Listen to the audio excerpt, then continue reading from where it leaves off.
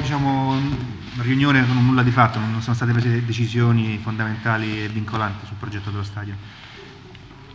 La conferenza dei servizi si è aggiornata al 31 gennaio.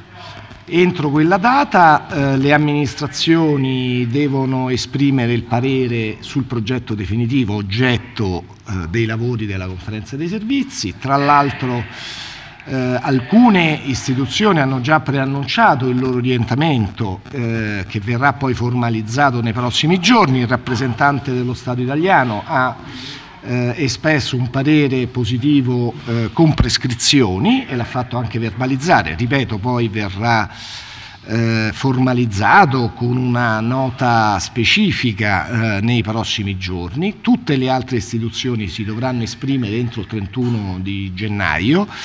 Eh, manca ancora la certezza sulla procedura urbanistica che è in capo a, a, Roma Capitale, al Comune di Roma Capitale. È una questione che noi abbiamo ricordato spesso.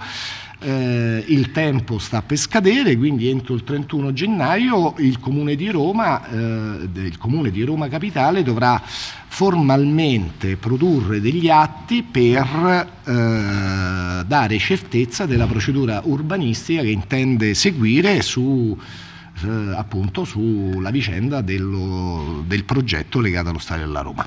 Quindi lei si aspetta che entro il 31 venga votata la variante? Eh, non lo so, è chiaro che se non ci saranno atti questo pregiudicherà il lavoro futuro della conferenza. Le valutazioni, ogni valutazione adesso è inutile perché eh, ovviamente i rappresentanti del Comune, anche in di conferenza, hanno confermato la loro disponibilità a produrre questi atti, quindi noi non possiamo che tenere in considerazione il parere che gli uffici hanno, hanno espresso nella, eh, nella conferenza. La cubatura è una strada percorribile oppure no? Noi non ragioniamo sulle ipotesi, mm, voi siete giornalisti, però non, eh, la conferenza dei servizi si basa sugli atti di governo, sugli atti amministrativi che sono di competenza delle giunte e dei consigli comunali.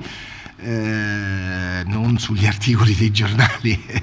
Mi scuso, ma eh, voi siete dei giornalisti, però noi eh, dobbiamo basarci sugli atti, atti ufficiali. Eh, per ora non c'è alcun atto ufficiale che riguarda questi aspetti. Quando ci saranno li valuteremo, li valuteranno gli uffici, li valuteremo anche noi.